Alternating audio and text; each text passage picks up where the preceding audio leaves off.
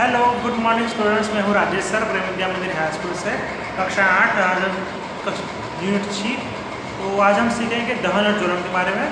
तो शुरू करते हैं। अब दहन यानी क्या? कोई भी चीज़ के अग्नि के स्तर पर आने पर जो पदार्थ में अग्नि पैदा होती है, उसको हम कहते हैं दहन। और ज्वलन किसे कहते हैं? जब वो बहुत ज़्यादा ज्वलनशील होती है या ज्वलन लगता है तो उसको कहते हैं जलननाक जैसे उदाहरण के रूप में समझा आपने, कक्षा सात में मैग्नीशियम के बारे में पढ़ा होगा। मैग्नीशियम अगर ऑक्सीजन के रूप संपर्क में आए या फिर भारी मात्रा में ऑक्सीजन के स्वरूप में आए तो उसमें ज्वलनशील पैदा हो जाती है इसके कारण वो जलने लगता है। लेकिन ये हमेशा नहीं होता। कुछ चीज़ों में पदार्थों में होता है, जिसके कारण ये जलने लगता है और इसमें रूप में थोड़ा परिवर्तन आने लगता है। अब हम बात करते हैं कि कौन सी वस्तु ज्वलनशील होती है, कौन सी वस्तु ज्वलनशील नहीं होती। लकड़ी ज्वलनशील होती है और कागज़ ज्वलनशील होता है, लेकिन लोहे का घेरा ज्वलनशील नहीं होता। मिट्टी का तेल ज्वलनशील होता है, पत्थर के टुकड़े ज्वलनशील नहीं होते। लेकिन अगर ये गर्मी किया जाए या इसके अंदर धन क्या पैदा हो जाए तो ये दहन हो सकता है, लेकिन ये दहन हो जाएगा, ये ज़रूरी नहीं है। बड़े बड़े पत्थरों में बात करें तो बड़े बड़े कंकड़ों में भारी मात्रा में गर्मी पैदा हो, जैसे कि हज़ार सेल्सियस दो हज़ार सेल्सियस गर्मी पैदा हो तो ये पिघलना ज़रूर लगता है, लेकिन जलेगा नहीं। वहीं लकड़ी की बात करें तो लकड़ी ज्वलनशील होता है बड़े बड़े जंगलों में आग लग जाती है, चाहे उसमें नमी हो कि ना हो। दहन की बात करें तो दहन का मुख्य कारण होता है कि उसके अंदर जो सूखापन होता है उसके कारण गर्मी पैदा होती है। और सूखे होने के कारण इसमें जैसे बड़े बड़े तेल हो गया, लकड़ी हो गई, तेल में नमी नहीं होती। तेल भले द्रव प्रकार का होता है, लेकिन इसमें अंदर नमी नहीं होती। जिसके कारण ये ज्वलनशील होता है।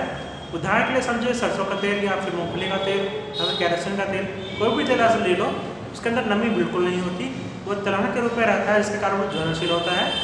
मोमबत्ती की बात करें तो मोमबत्ती का अगर जलाया जाए तो मोमबत्ती जलेगी ज़रूर, पिघलेगी ज़रूर, लेकिन ये दोहन ज्वलनशील नहीं होती। ये ज्वलनशील का पोषक होता है, मोमबत्ती के साथ अगर कोई चीज़ रखा जाए तो जलेगी ज़रूर, लेकिन ये पूरी तरह से जल जाए ऐसा ज़रूरी नहीं है। ये जलन के लिए पोषक देती है। तेल भी जलन के लिए पोषक देता है, लेकिन ये जलन पैदा नहीं करता। दहन पैदा होता है बारूद में, लकड़ी में। लकड़ी को, पहले ज़माने के लोग लकड़ी से हाथ पैदा करते थे, लेकिन इसके लिए वो सूखी लकड़ी का इस्तेमाल करते थे ज़मीन डाई में बिल्कुल ना हो। और भारी घर्षण के बाद में जलन पैदा होती है, गर्मी पैदा हो जाती थी। बारूद की बात, अभी हम माचिस का प्रयोग करते हैं। माचिस के ऊपर बारूद लगी रहती है, जिसको हम घसते हैं और अग्नि पैदा होती है। लेकिन पहले ज़माने में ऐसा नहीं था। पहले ज़माने में बहुत मेहनत के बाद अग्नि पैदा होती थी और अग्नि को संभाल के रखा जाता था, ताकि किसी के यहाँ अगर कोई बारिश आ जाए तो उसका इस्तेमाल कर सके।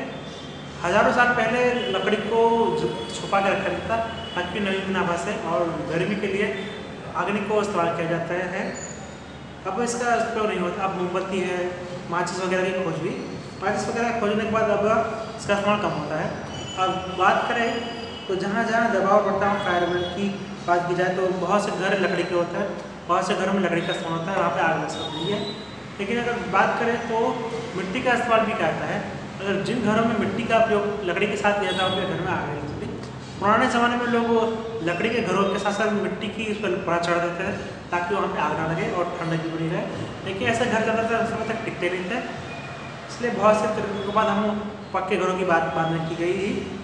अग्निशामक की बात करें तो बहुत से लोग का कार्बन डाइऑक्साइड यानी कि सी का इस्तेमाल करते हैं। सी जो कार्बन डाइऑक्साइड गैस होती है, जो लिक्विड फॉर्म में होती है, जो द्रव प्रकार में होती है, उसके ज़रिए आग को बुझाया जाता है। तो ज्वलन को पोषक देता है। ज्वलन प्रकार की बात करें तो गैस का स्टॉक, ये सारी चीज़ें होती है धर्म के रूप में काम आती है। फॉस्फोरस जैसे पदार्थ होते हैं, मैग्नेशियम जैसे पदार्थ होते हैं, जो ज्वलन के लिए काम करते हैं।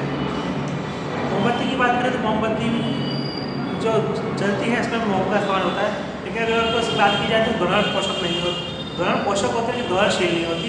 अगर ये जलती ज़रूर है, लेकिन ये स्वयं अपने आप से जल जाए ज़रूरी नहीं है, इसके लिए सामने से माचिस के तीर के साथ उसको जलाना पड़ता है, नहीं तो नहीं जलती।